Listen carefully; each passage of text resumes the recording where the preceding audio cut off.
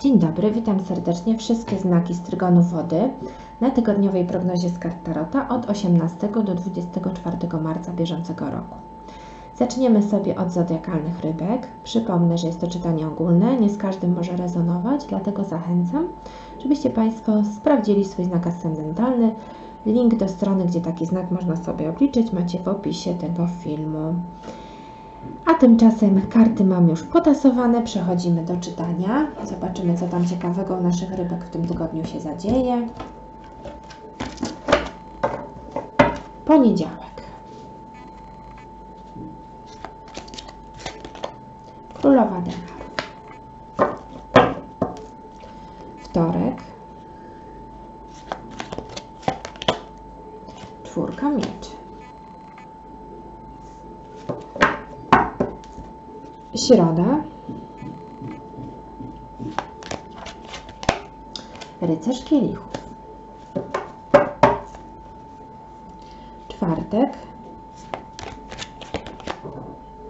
Osiem denarów. Piątek. Pustelnik. Sobota. Dziesiątka mieczy. I niedziela. Król denarów. Ale fajnie, zaczynacie królową, kończycie królem. Ale w tle trójka mieczy.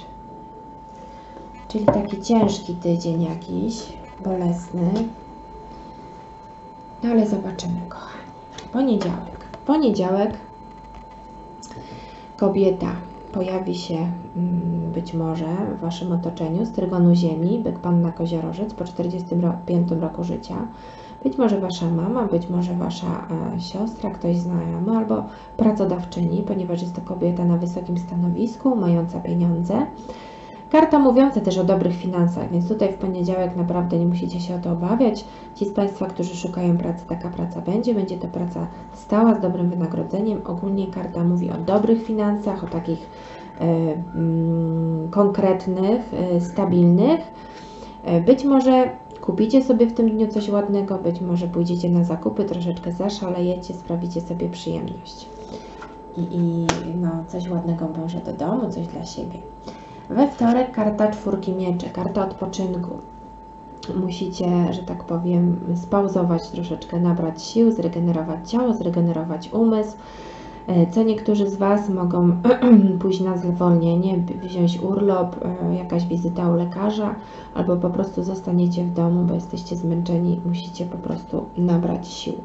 Czwórka mieczy ogólnie to karta odpoczynku, tak? Relaksu, zbierania sił i energii na kolejny dzień troszeczkę możecie być wy, wyizolowani, troszeczkę, tak jak mówię, no, zamkniecie się może w domu i, i w tym dniu nigdzie nie będziecie wychodzić, będziecie po prostu odpoczywać. W środę rycerz kielichów, czyli jakieś dobre wiadomości do Was idą. Yy, być może jakaś nowa miłość, być może informacje mm, dobre odnośnie pracy, ponieważ czwartek ósemka denarów, czyli coś tutaj z finansami może być związanego.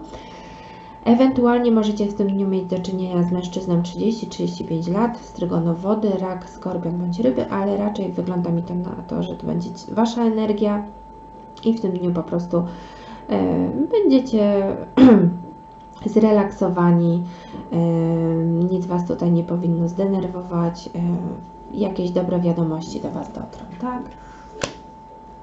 E, co jeszcze? Czwartek ósemka denarów, czyli karta skupieniu się na pracy, tak? W tym dniu no, będziecie w pracy, będziecie e, zajęci swoimi tutaj sprawami, będziecie się skupiać na tym, co robicie, będziecie się przykładać do tego, żeby wszystkie mm, obowiązki swoje służbowe wykonać należycie. Jest to karta może taka mówiąca o tym, że no trochę będziecie musieli posiedzieć nad papierach, nad papierami czy nad jakimiś sprawami dotyczącymi tutaj swoich e, spraw finansowych, ale, ale będzie za to dobre wynagrodzenie. E, dobra praca i dobra płaca, tak jak to się mówi. Karta mm, powolnego takiego dążenia do celu, tak doskonalenia się. ale też karta e, wynagrodzenia za pracę, więc ci z Państwa, którzy tutaj oczekiwali być może jakichś finansów, to te dobre wiadomości zwiastujące w środę, tak? Przypływ tej gotówki, być może tutaj się coś zrealizuje, być może jakaś premia, być może wypłata wejdzie na konto, coś związane z pracą, z finansami. W piątek e, troszeczkę się wyciszycie, troszeczkę e, będziecie tacy aspołeczni, odizolujecie się znowuż od otoczenia. Musicie się nad czym zastanowić, jakieś sprawy musicie dogłębnie przemyśleć. E, w samotności, tak, sami ze swoimi myślami zostajecie i coś analizujecie. Wy już jesteście bardzo doświadczeni tacy życiowo i coś po prostu musicie przeanalizować, tak? Ostrożnie podchodzicie do jakiegoś tematu i musicie dokładnie zgłębić się nad tym, tak? To jest też karta mówiąca, że jakieś swoje plany trzymacie w sekrecie. Mm, sami jesteście w tym wszystkim, tak? Jakieś doświadczenia życiowe. E, izolujecie się i, i szukacie tej swojej własnej prawdy, tego swojego światła, tak? Pustelnik jest to karta zodiakalnej panny, więc być może tutaj w tym dniu spotkacie taką osobę, może jakiegoś właśnie mądrego samotnika, który coś Wam mądrego doradzi, który, który tutaj no, mm, ma jakieś doświadczenie i może Was poprowadzi w jakimś temacie, albo po prostu, no mówię, dzień spędzicie w samotności, będziecie analizować, rozmyślać, planować, e, co dalej, w jakim kierunku podążać. E, w sobotę karta dziesiątki mieczy, czyli no, karta takiego bolesnego zakończenia jakichś trudnych spraw, tak? Ale całe szczęście to już jest koniec, więc no myśleliście, kochane rybki, myśleliście, aż coś wymyśleliście, żeby jednak coś trudnego tutaj zakończyć, tym bardziej, że w tle całego czytania mamy trójkę mieczy, karta jakiegoś rozczarowania, jakiegoś bólu emocjonalnego, jakichś, jakichś bolesnych słów, no może tutaj coś usłyszycie, chociaż przy tym rozkładzie tygodniowym, który jest bardzo ładny, no ta karta mi tutaj nie pasuje, ale być może będzie jakieś bolesne wyjaśnienie spraw, tak? I, I to już jest koniec. Coś sobie wyjaśnijcie, to jest karta brama, więc jakiś trudny etap za Wami, yy, bolesne wyjaśnienie, yy, coś Was tutaj dobiło, ale już gorzej być nie może, więc w tą sobotę być może, no nie wiem, dłużej siedzicie w pracy, już jesteście przemęczeni, tak? Być może to myślenie takie intensywne, które gwarantuje ten pustelnik, no już Was tak wyczerpało, że tak powiem intelektualnie, że ten mózg Wam paruje. I już macie dosyć tego myślenia, tego analizowania. Więc mówię, dziesiątka to jest takie e, poświęcenie się, ale, ale już koniec tych złych takich e, emocji, złych e, spraw, tak? Coś kończycie przez takie bolesne doświadczenie, coś musi się tutaj skończyć. I w niedzielę król denarów, czyli albo spotkanie z mężczyzną po 45 roku życia, z trygonu ziemi, byk, panna koziorożec, albo też jakieś dobre finanse, osoba na wyższym stanowisku, no tak jak mówię, królowa tutaj była, zaczynacie tymi pieniędzmi i kończycie, więc to są dobre, stabilne finanse, to jest osoba, mówię, na wysokiej pozycji społecznej, osoba, która ma już galanty dorobek swojego życia, ma oszczędności, e, jest taka no, dostatnia, że tak powiem, wie co ma. E, to jest osoba spokojna, dobra, mm, która może Wam zaoferować może jakąś pomoc finansową, albo po prostu niedzielę spędzicie w gronie takiego mężczyzny, w towarzystwie takiego mężczyzny i będzie to taki miły, udany dzień. Jest to osoba dobra, ciepła, być może taka troszeczkę nieśmiała, niezbyt wylewna uczuciowo, ale na pewno dająca bezpieczeństwo materialne, dobry ojciec, mąż osoba, która e, no, nie da Wam zginąć w świecie materialnym, tak? No dobrze, moje kochane rybki, to by było na tyle. Zobaczymy sobie jeszcze ogólną kartę rady od Tarota na ten tydzień. 18-24 marzec bieżącego roku. Karta gwiazdy, kochani, pięknie. Spełniajcie swoje marzenia, realizujcie się, czy to w pracy, czy to w związkach. Idźcie za ciosem, karta gwiazdy mówi o tym, że wszystko będzie dobrze, że Wasze nadzieje się zrealizują. To jest takie światełko w tunelu, to jest karta dobrych widoków na przyszłość. To jest karta mówiąca o tym, że wszystko dobrze się skończy, żebyście się nie martwili, takie odnalezienie celu swojego życia, szczęście we wszystkich sprawach, kierujcie się optymizmem i miejcie nadzieję, że wszystko dobrze się ułoży. Tak? Czyli karta spełnienia swoich marzeń, swoich zamierzeń. Zobaczymy jeszcze, co anioły tutaj chcą Wam podpowiedzieć. Amor. Hmm, może jakaś nowa miłość tu do Was idzie. I Wy się nad tym zastanawiacie, być może ktoś właśnie tutaj z tego trygonu ziemi. Proszę bardzo, karta Amorka i już czytam. Napełniamy Twe serce i umysł miłością, budząc w Tobie miłość do samego życia. Źródłem tego przebudzenia stała się Twoja decyzja, żeby otworzyć się na miłość i cieszyć się nią. Pozwól sobie na spontaniczną celebrację wszelkich przejawów miłości. Pięknie, kochani. Czyli pamiętajcie, mimo wszystko, mimo tych mieczy tutaj, dwie karty takie, no nieładne bym powiedziała, ale, ale mówiące o tym, że, że coś bolesnego się już kończy, że Wy się od tego odetniecie, że to już myślę, że jakąś słuszną decyzję tutaj podejmiecie w ten piątek sami. Nikt Wam tu nie będzie doradzał. Wy sami znajdziecie światełko w tunelu, tak, o czym mówi też ta gwiazda. Wy sami będziecie wiedzieli, jak rozwiązać ten problem, tak? I odetniecie się od tego. To już będzie koniec. Czy to finanse, czy to miłość, no sami już musicie sprawdzić do swojej sytuacji życiowej, tak? A tymczasem życzę Wam wspaniałego tygodnia, żeby wszystko pokładało się po Waszej myśli, żeby te sprawy pozałatwiały się jak najbardziej pozytywnie.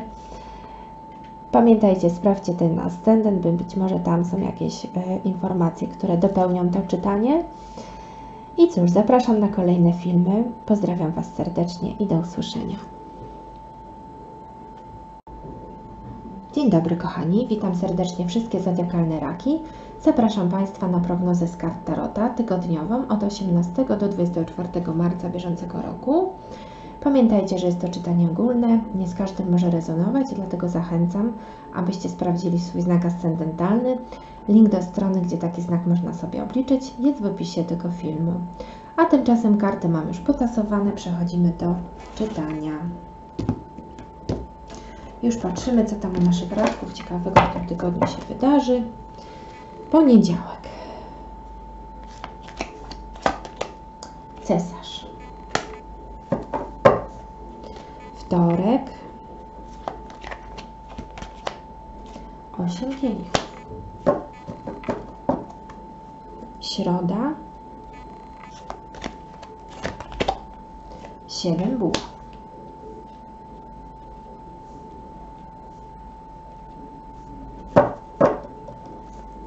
czwartek,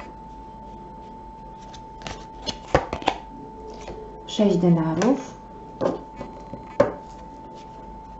piątek,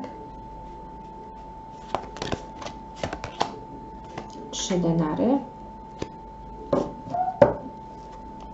sobota, dwa kielichy,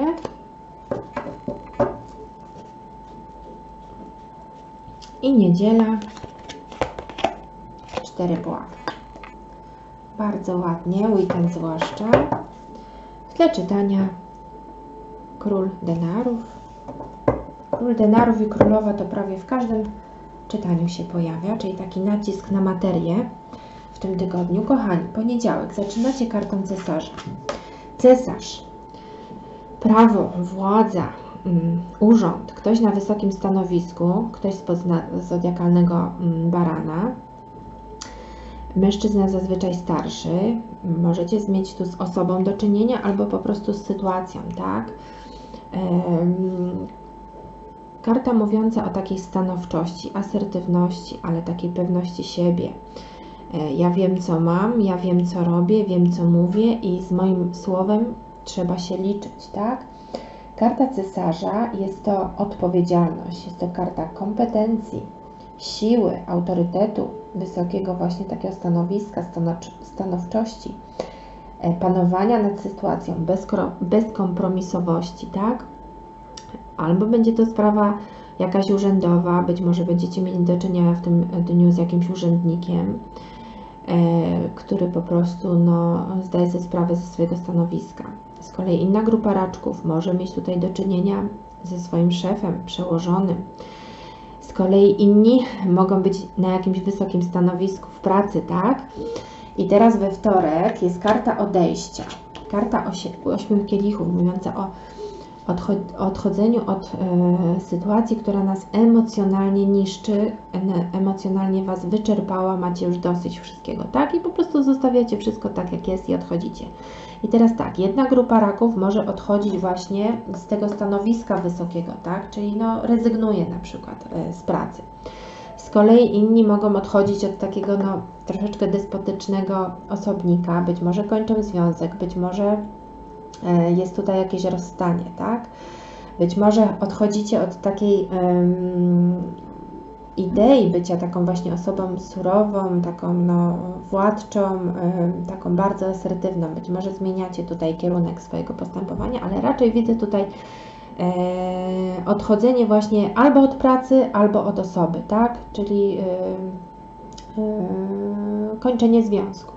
Osiem kielichów mówi, jest to taka karta dziwna, bo ona może mówić o odejściu, ale też ewentualnym powrocie do czegoś, tak? E, zostawiamy wszystko tak, jak jest, nie zamykamy za sobą drzwi, nie palimy mostu. W każdej chwili, kiedy nasze samopoczucie się zmieni, kiedy e, odpoczniemy, dojdziemy do wniosku, że jednak coś się zmieniło na lepsze, możemy wrócić, tak? Ale niekoniecznie. Ogólnie jest to karta mówiąca o tym, że coś nas już tak zmęczyło, tak dobiło emocjonalnie, mamy już tego serdecznie dosyć po prostu zostawiamy, odchodzimy w nowym, lepszym kierunku. I to by się zgadzało, ponieważ w środę mamy kartę siódemki buław, mówiąca o tym, że musicie czegoś bronić, być może e, pracy, być może stanowiska, być może swoich finansów. Karta mówi o tym, że macie silną pozycję, naprawdę. Być może jest to Wasza pozycja właśnie, tutaj taka władcza. I musicie pokonać jakieś trudności. Ktoś Was tutaj atakuje z zewnątrz, no i Wy musicie się po prostu obronić. To jest też karta mówiąca o stawianiu granic, stawianiu barier, e, o takiej ochronie swojej przestrzeni osobistej, tak? Nie pozwalacie komuś tutaj wejść z buciorami w swoje życie, nie pozwalacie, żeby on Wam dyktował warunki, no bronicie siebie ewidentnie. I teraz w czwartek mamy 6 denarów, więc być może po tym odejściu lub zmianie kierunku swojego działania, być może w pracy, być może w swojej sytuacji zawodowej lub partnerstwie, małżeństwie, tak, bo odchodzicie, no i teraz bronicie siebie i być może jest podział majątku, bo to jest równowaga finansowa, równowania w dawaniu i braniu. Być może chcecie, żeby ktoś wam, z Wami się rozliczył. Jeżeli jest to w pracy dla jednej grupy raczków, no to oczekujecie, że ktoś Wam tutaj mm, wypłaci wynagrodzenie, być może e, jakaś premia, być może e, jakieś zaległe wypłaty, jakieś wyrównania. Ci z Państwa, którzy kończą związek, no to też będą chcieli jakiegoś podziału majątku, żebyście się rozliczyli ze wszystkim, co tam wspólnie, jakieś gospodarstwo domowe, jakieś pieniądze były. Ale mm, raczej mi wygląda to na sprawy zawodowe, ponieważ weekend e, szczęśliwie spędzacie w rodzinie ze swoją ukochaną bądź ukochanym, więc raczej wygląda tutaj na rozstanie po prostu z jakąś sytuacją zawodową, tak? Odchodzicie być może od tej pracy, od tego szefa, bo nie wypłacał może Wam na termin e, pieniędzy i teraz po prostu musicie walczyć o swoje, tak? Walczycie w środę o swoje i oczekujecie rozliczenia, oczekujecie, że ktoś odda Wam pieniądze, które Wam się jak najbardziej należą. I co w piątek? No w piątek jakaś umowa, czyli dogadaliście się, doszliście do jakiegoś porozumienia, jest przyjęcie jakiejś oferty, e, przyjmujecie tą ofertę, skupiacie się na pracy i ona Wam gwarantuje jakieś pieniądze. Być może chodzi tutaj o umowę, tak? Być może byliście u swojego pracodawcy na jakiejś umowie śmieciowej, nie wiem, jakiejś takiej niejasnej i odchodzicie od tego i bronicie się i chcecie, żeby ta umowa wreszcie była na stałe, żeby te pieniądze były, tak? Już takie legalne na papierze. No karta trzech denarów gwarantuje to. Tym bardziej, że w tle czytania macie króla denarów, pod spodem jeszcze 9 denarów, czyli jednak będziecie szczęśliwi z tego, co osiągnęliście, jednak będzie ten dostatek, będą te pieniądze, będzie takie zabezpieczenie materialne, o którym mówi król denarów. Jest to stała praca i, i stałe pieniądze, więc uda Wam się to wywalczyć, tak? I to takie konkretne, też na jakimś wysokim stanowisku. To nie jest jakieś stanowisko gdzieś tam podrzędne, takie no, po, początkujące, raczkujące, tylko Wy już sobie wypracowaliście tutaj że tak powiem, y, poprzez swoje doświadczenie, poprzez lata pracy, jakieś stanowisko, już jakąś pensję, no i Wy chcecie to utrzymać, ale chcecie, żeby to było legalne, żeby była umowa. Dobrze, pięknie, bardzo ładnie, bardzo, bardzo ładnie. Obronicie siebie, jesteście na silnej pozycji, wywalczycie to sobie. No i sobota, no sobota przepiękna, kochane raczki. Spędzicie ją z ukochaną osobą, tak? Czy to partnerką, czy partnerem, mężem, żoną, narzeczoną, narzeczonym. Cudowny dzień, będziecie naprawdę w doskonałym humorze, nikt Wam tutaj nie powinien takiego romantycznego nastroju popsuć.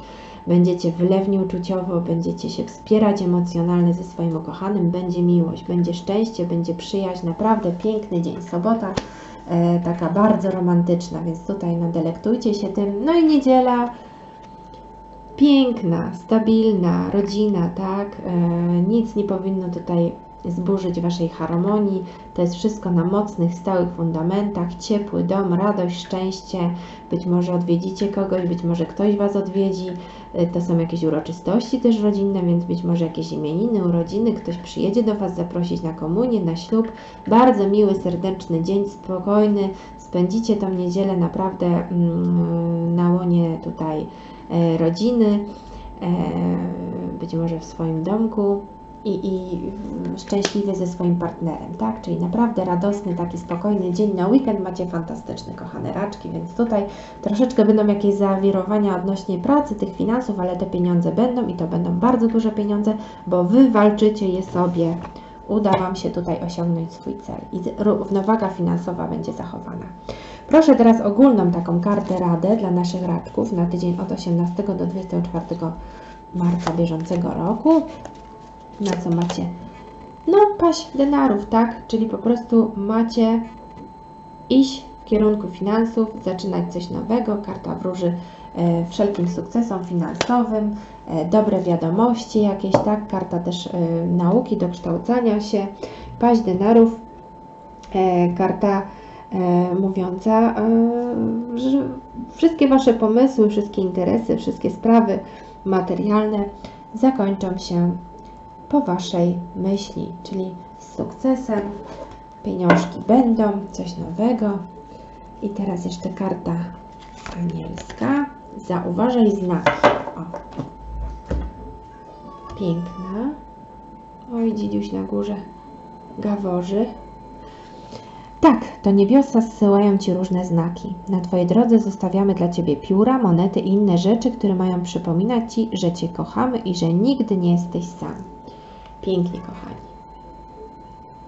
Pięknie, czyli pamiętajcie anioły e, oraz osoby, które już odeszły z tego świata, e, a, o których pamiętacie i które na zawsze pozostaną w Waszym sercu, e, czuwają nad Wami, więc pomódlcie się, pomedytujcie, powspominajcie i, i na pewno one będą Wam dawać jakieś znaki, że wiedzą i że są przy Was i że cały czas Was kochają i, i wspierają w każdej dziedzinie życia.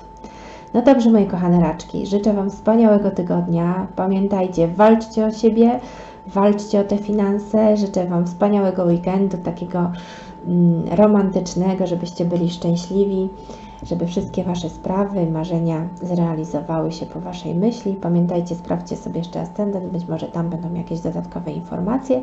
A tymczasem pozdrawiam Was bardzo serdecznie, zapraszam do kolejnych czytań i do usłyszenia. Dzień dobry, witam serdecznie wszystkie zodiakalne skorpiony. Zapraszam Państwa na prognozę tygodniową z kart Tarota od 18 do 24 marca bieżącego roku. Przypominam, że jest to czytanie ogólne, nie z każdym może rezonować, dlatego zachęcam, sprawdźcie swój znak ascendentalny.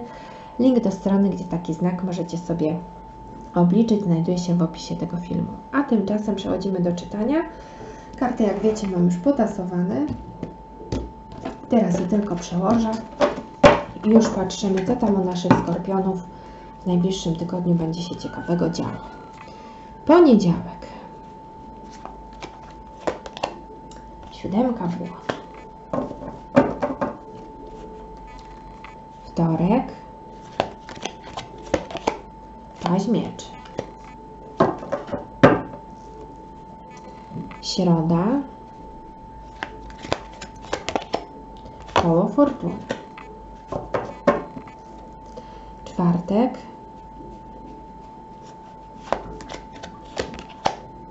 Pięć denarów.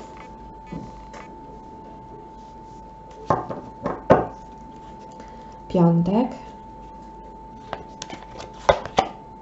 Księżyc. Sobota. Szóstka kielichów. I niedziela. szóstka mieczy. W tle czytania mamy kartę króla buław. No dobrze. Kochani, poniedziałek, siódemka buław. Karta mówiąca o tym, że macie silną pozycję w jakiejś sprawie, tak? Mm, Czy to zawodowej, czy emocjonalnej.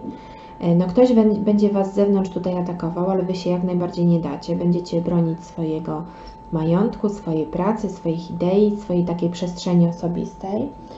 Siedem buław mówi o pokonywaniu wszelkich tr- trudności, tak? No tak jak mówię, ktoś będzie tutaj atakował Was z zewnątrz, ktoś będzie naciskał, ktoś będzie Wam starał się jakieś swoje przekonania narzucić, ale Wy się nie dacie. Stawiajcie bariery, wyznaczajcie granice, brońcie swojego słowa, brońcie swojej myśli, swojego stanowiska. Nie dajcie się tutaj strącić z tej mm, takiej wysokiej pozycji, tak? Nie dajcie wpuścić wroga na swoje terytorium.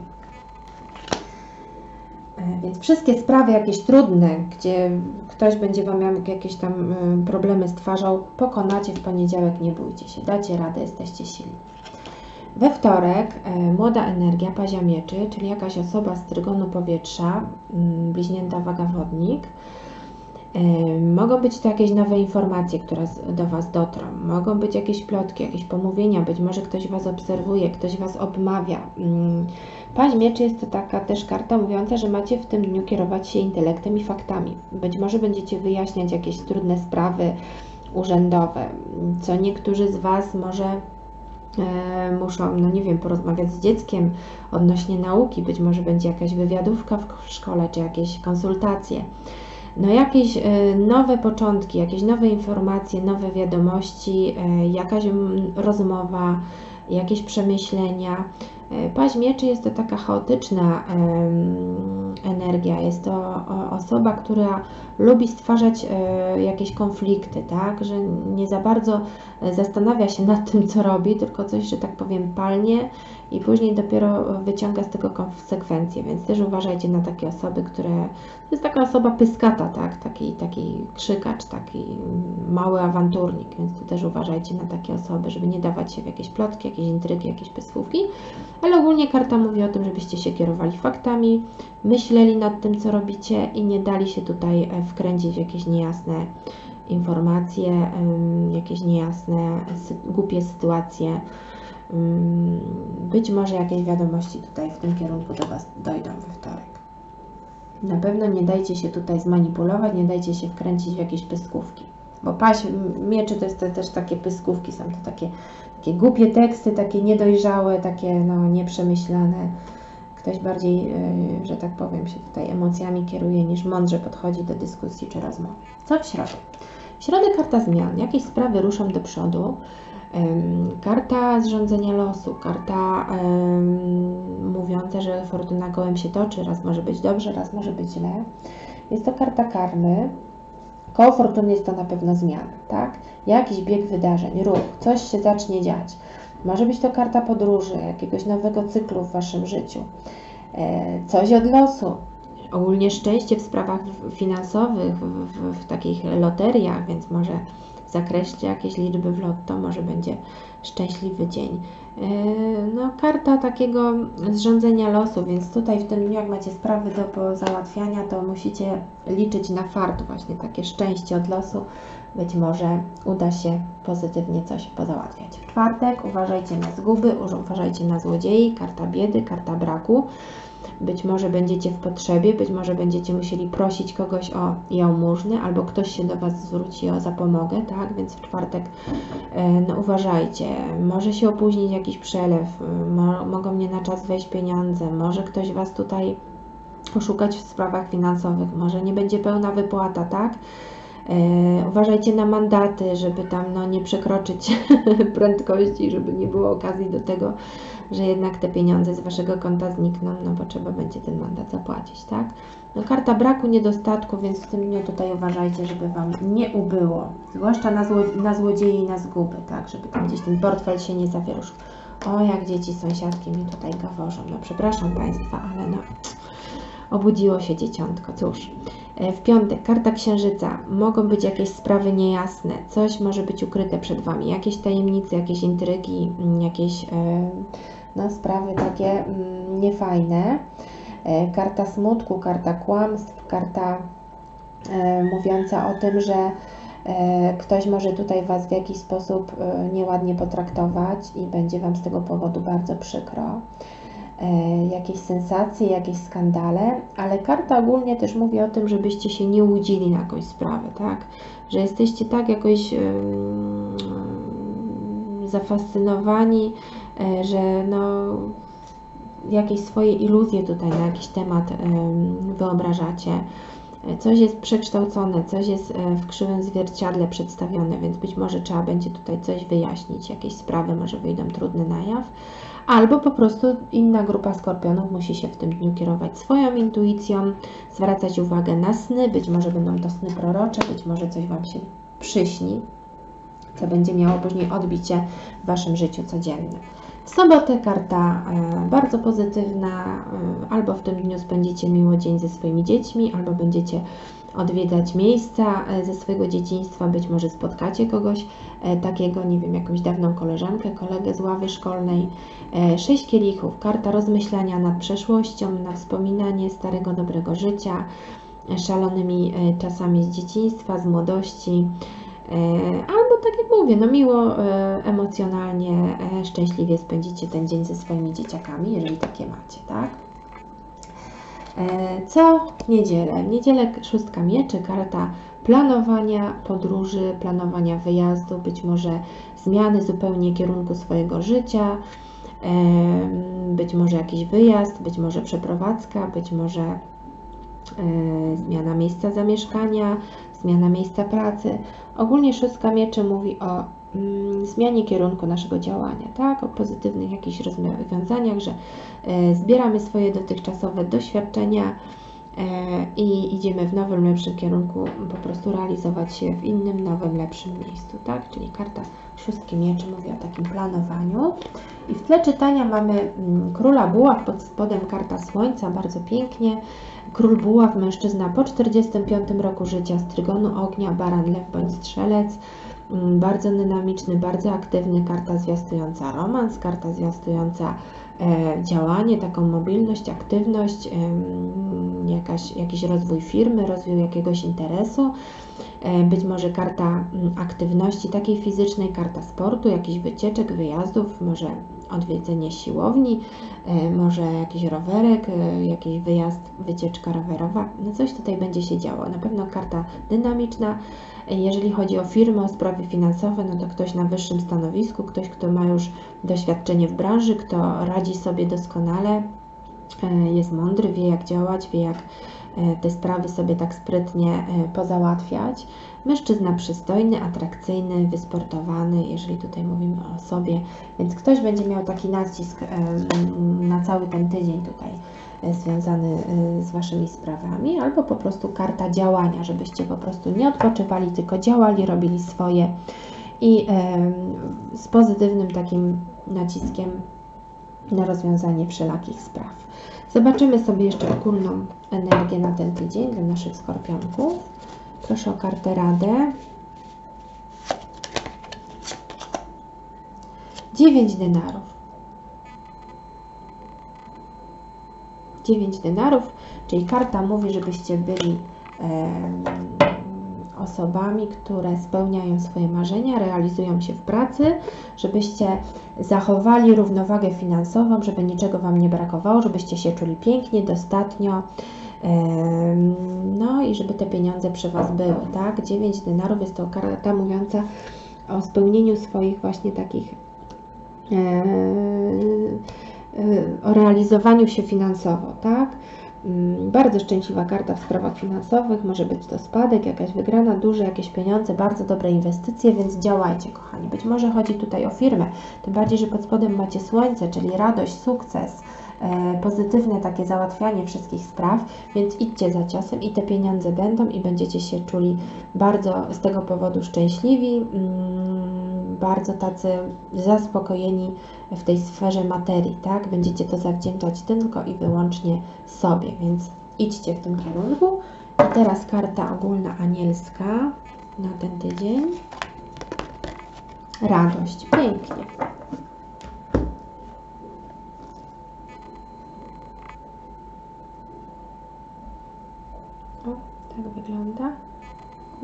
To mi się odbija. Radość jest najważniejszą, najwyższą energią, przepraszam. To magiczne poczucie, że wszystko jest możliwe. Jej źródłem jest wdzięczność za dary, które niesie ze sobą każdy moment. Przyciąga i tworzy obecne i przyszłe chwile na najwyższym poziomie. Widzicie, kochani, czyli ze wszystkim, co robicie, podchodźcie z uśmiechem na ustach, właśnie z taką pozytywną, optymistyczną energią, którą daje Wam słońce, którą daje też e, siłę taką przebicia król buław, więc działajcie, realizujcie się, spełniajcie się, e, żebyście się po prostu czuli w tej dziewiątce denarów e, dostatnio, wygodnie, pięknie, szczęśliwie i żeby niczego Wam nie, nie brakowało. No dobrze, kochani, życzę Wam wspaniałego tygodnia, samych sukcesów, żeby wszystkie Wasze sprawy poukładały się pozytywnie. Pamiętajcie, sprawdźcie swój znak ascendentalny. Tam mogą być dodatkowe wskazówki mówiące, co może Was czekać w tym tygodniu. E, Nie bójcie się, bo dacie radę, obronicie wszystkie tutaj swoje idee, wszystkie pomysły, wszystkie sprawy. Walczcie, macie silną pozycję, nikt nie powinien Was z tej silnej pozycji, być może o której mówi Król Buław, tutaj zrzucić. Tymczasem pozdrawiam Was bardzo serdecznie, zapraszam do kolejnych czytań i do usłyszenia.